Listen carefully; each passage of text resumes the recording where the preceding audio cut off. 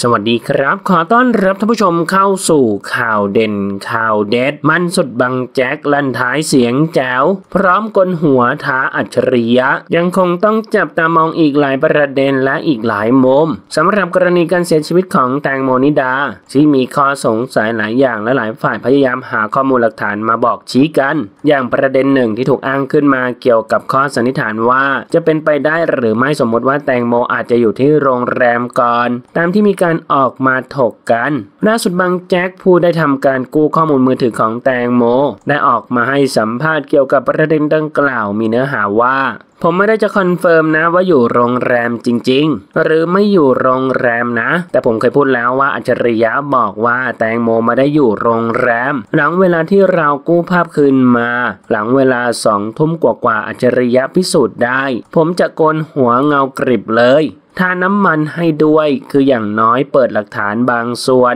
ให้คนที่ตามคดีแตงโมดูแต่ผมถามกลับอัจฉริยะมีหลักฐานอะไรบ้าง ที่ออกมาเปิดให้สังคมรับรู้ว่าเป็นคดีแบบนี้จริง ๆ นอกจากที่มีคำพูดไลฟ์สดพูดตลอด มีหลักฐานอะไรที่เขาเปิดเผยไหม นอกจากใบพัดเรือที่มีคนส่งคลิปไปให้เขายังไม่มี แต่ถ้าเราค่อยว่ากันหลักฐานอัจฉริยะชัดเจน หลักฐานบางแจ็คตัดต่อไม่ชัดเจน หลังจากที่ดูหลักฐานอีกฝ่ายหนึ่งก่อน เราไม่ต้องให้อัจฉริยะเปิดเผยทั้งหมด แล้วเราไม่ได้มีปัญหากับอัจฉริยะ เราไม่ได้เป็นศัตรูกับเขา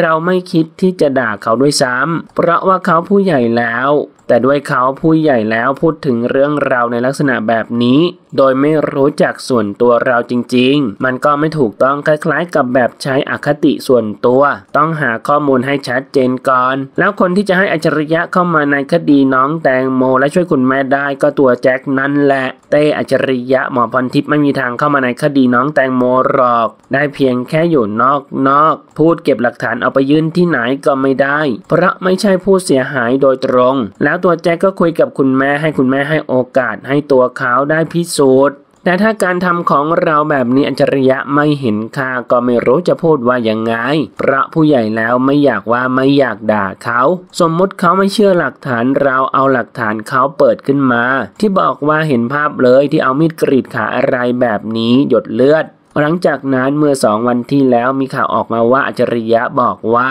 คุณอันกับบางแจ็คไร้สาระมันไม่มีมีด มโนขึ้นมาเขาพูดเอง แล้วเขาไปหามีดเอง ไม่ใช่เราไปหามีดมันแปลกไหมอะถ้ายังไม่ได้คุยไม่รู้จักตัวตนของเราอย่าไปพูดดีกว่า แต่เราไม่จำเป็นต้องให้คนนั้นคนนี้มาให้ค่า เรารู้ค่าของเราดีพอกว่าคนอื่นฝั่งหนึ่งจะชอบอีกฝั่งหนึ่งจะเกลียดก็แล้วแต่เราจะไปบังคับเขาก็ไม่ได้หรอกท่านผู้ชมนะครับ มีความคิดเห็นอย่างไรกับเรื่องนี้ลองแสดงความคิดเห็นกันเข้ามาดูนะครับ ขอขอบคุณข้อมูลจากคมชัดลึกขอบคุณครับ